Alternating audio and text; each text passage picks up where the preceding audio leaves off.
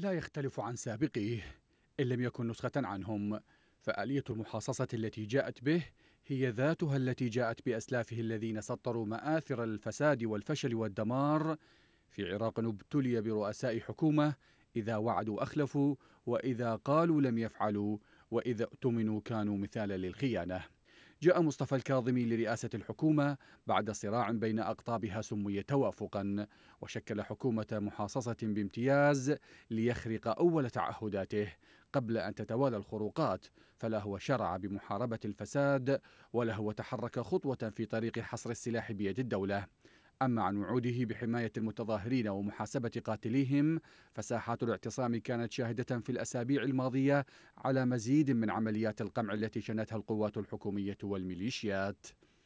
لم يقف الأمر عند هذا الحد فتصريحات الكاظم بخصوص الحفاظ على رواتب الموظفين والمتقاعدين وعدم المساس بها ما لبث أن تكشف زيفها مع عمليات الاستقطاع التي طالت رواتبهم ليدفعوا ثمن سنين الفساد والنهب الذي مارسته الطبقة السياسية ولا تزال.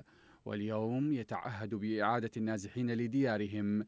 فهل سيفي بوعده ويقف بوجه الميليشيات التي تمنعهم من الرجوع؟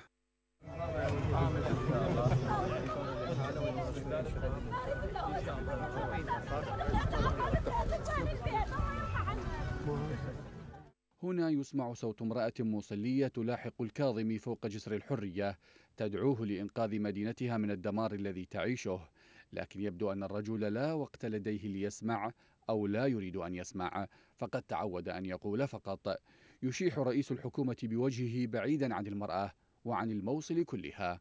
رسالة مبكرة يفهم منها مصداقية تصريحاته بإعادة الحياة إلى المدينة أو إرجاع النازحين الذين تقطعت بهم السبل وما عادت الوعود تعني لهم شيئا لأنهم سمعوا منها الكثير. ست سنوات من التشرد والنزوح حكومات مرت وبرلمانات تعددت ولا تزال مأساتهم تراوح مكانها لأن سلطة فوق سلطة الدولة وخارجة عنها لا تريد لهم العودة لأن بلدهم الذي هجروا فيه لا يملك من أمره شيء. تأتيه الأوامر من الخارج وما على القائمين عليه سوى السمع والطاعة.